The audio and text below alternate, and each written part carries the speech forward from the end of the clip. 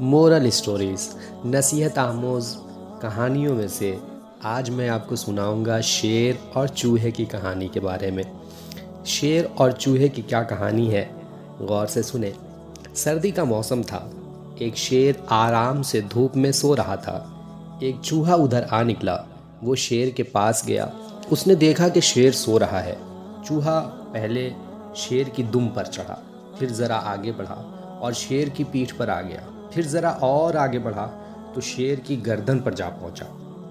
चूहे को गर्दन के बाल बहुत अच्छे लगे। चूहे को गर्दन के बाल बहुत अच्छे लगे। वो बालों में घुस गया और खूब उछला कूदा। चूहा उछला कूदा तो शेर की आँख खुल गई। उसने चूहे को पकड़ लिया। चूहा बहुत घबराया। उसने शेर से कहा, जंगल के बादशाह, मुझे माफ़ कर दो। शेर ने चूहे को छोड़ दिया। चूहा खुश होकर बोला, जंगल के बादशाह, मैं किसी दिन इस एहसान का बदला दूँगा। शेर हंस दिया। हंसा कि भाई, ये मुझे बदला देगा? इतनी भर का है। कुछ दिन बाद एक शिकारी जंगल में आया। उसने जाल लगाया।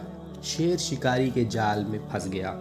उस दिन चूहा भी उधर आ निकला। उसने देखा, शेर जाल में फंसा हुआ है। वो आगे बढ़ा और अपने तेज दांतों से जाल काटने लगा। थोड़ी देर में जाल कट गया। शेर जाल से बाहर निकल आया।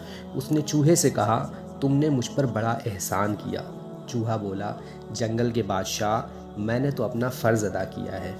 दोनों खुश खुश, खुशी खुशी चले गए। तो ये रही शेर और चूहे की कहानी। तो इससे एक बात ये समझ में आती है कि हमें मुसीबत में अपने दुश्मन की भी मदद करनी चाहिए। दुश्मन में और अगर किसी ने एहसान किया है तो उस एहसान का बदला देना चाहिए। शेर ने एक वक्त में चूहे को छोड़ा था, चूहे को बख्श दिया था तो चूहे ने उसका बदला दिया और जब शेर मुसीबत में पड़ा, देखने में तो चूहा बहुत छोटा सा है, लेकिन उसने बड़े से शेर की मदद की। तो हर कोई अपने आप में एक ताकत रखता है। तो हमें अपनी ताकत पर भरोसा करना चाहिए और उस ताकत पर भरोसा करते करते हुए आगे बढ़ने की कोशिश करनी चाहिए।